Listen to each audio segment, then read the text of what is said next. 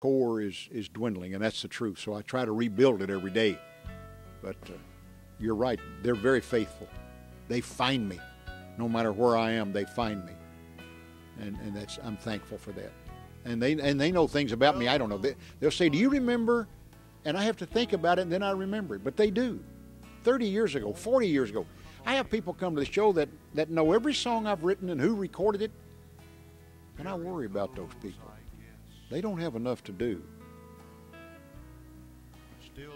If you found this video enjoyable, then I've recorded about 20 of them, and you can find them, listen to them, watch them on bestbransoncountryshow.com. Go back and give them a look.